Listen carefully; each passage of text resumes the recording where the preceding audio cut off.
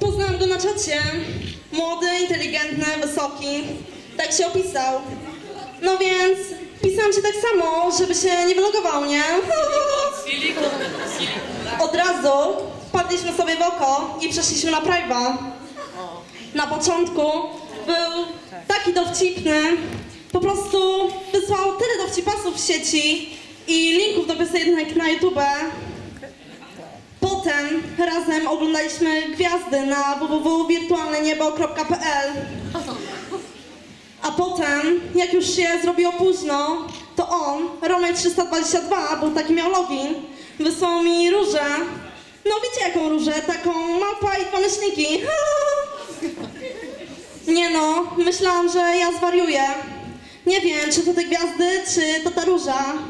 Ale ja stwierdziłam, że... A co? Raz się żyje, zaszaleję. Zamknęłam oczy i wysłałam mu buziaczka. A potem, potem jak tak pomału otworzyłam powieki, patrzę, a tam buziaczek od niego. Nie no, słuchajcie, ja nigdy, nigdy nie całowałam się na pierwszej randce.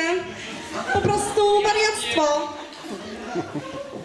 Em, tak mi się po prostu spodobał, że to jest masakra jakaś. Tego wieczoru stwierdziłam, że ja otworzę się przed nim na całego. Wysłałam mu tak, swojego maila, numer gadu-gadu, zaproszenie na NK i Facebooku, a on, Romek 322, wysłał mi tak, em, dwie tapety z lasem, e, wygaszacz z morzem, em, no i swój telefon. Ja mu też wysłałam swój telefon, e, tylko był mały problem, bo nie mieliśmy nic na koncie. No i postanowiliśmy tak, że jak ktoś będzie tęsknił, to wyślę sygnał. Takie nieodebrane połączenie. I tak, jedno nieode- nieodebrane połączenie tęsknię bardzo. Dwa nieodebrane połączenia tęsknię. Trzy nieodebrane połączenia e, całuję. E, cztery e, całuję bardzo. Pięć całuję bardzo, tęsknię i tak dalej, i tak dalej. I tak całowaliśmy się do rana. A rano stwierdziłam, że jestem już prawdziwą kobietą.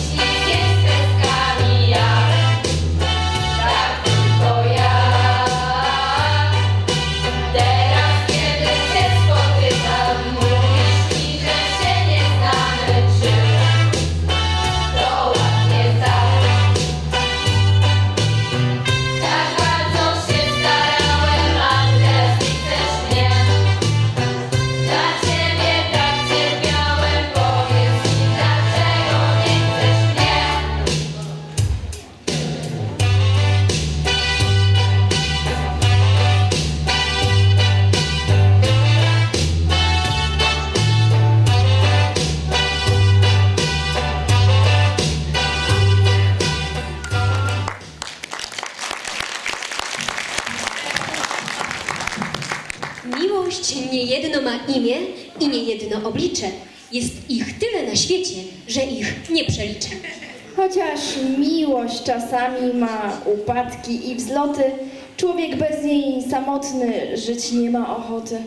Jest jak ospa, każdy ją przejść musi. Jest gorączką rozumu. Mężczyźnie wchodzi przez oczy, a kobiecie przez uszy. Miłość z ludzi błaznów robi. Miłość zdrowy rozsądek odejmuje. Kto z miłości chory, temu nie pomogą doktory. Pierwsza miłość jak żmija, dręczy człowieka i zabija. Człowiek miłości dogryzą do kości. W miłości i gniewie, co człowiek czyni, nie wie. Z miłości chleba nie będzie. Rzadko bywa ogień bez dymu, a rzadziej jeszcze miłość bez kłopotów. I tak dalej, nie? Chłopcy mają ciężki orzech do zgryzienia. Nie tak łatwo sprostać oczekiwaniom i wyobrażeniom dziewczyn. Jaki ma być twój wymarzony Dominiko?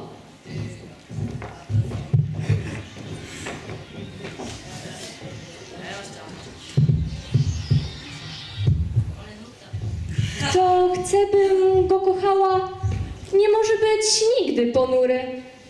I musi potrafić mnie unieść na ręku wysoko do góry. Kto chce, bym go kochała, musi umieć siedzieć na ławce i bacznie przyglądać się robakom i każdej najmniejszej trawce. I musi też umieć ziewać, kiedy pogrzeb przychodzi ulicą, gdy na procesjach tłumy pobożne idą i krzyczą. Lecz musi być za to wzruszony, gdy na przykład kukułka kuka lub gdy dzięcioł kuje zawzięcie w srebrzystą powłokę buka. Musi umieć pieska pogłaskać i mnie musi umieć pieścić. I zmiąć się i na dnie siebie żyć słodkim snem bez treści.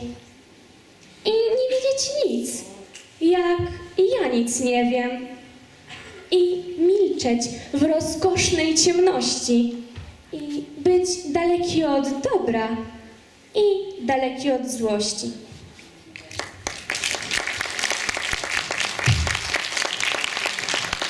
Podobno każdy chłopak ma jakieś zalety. My kobiety musimy im tylko wskazywać. Oni Wciąż nas krytykują, czasami się z nas śmieją, ale między nami, po ulicach, pojedynczo i grupkami snują się zakochani, często w okularach.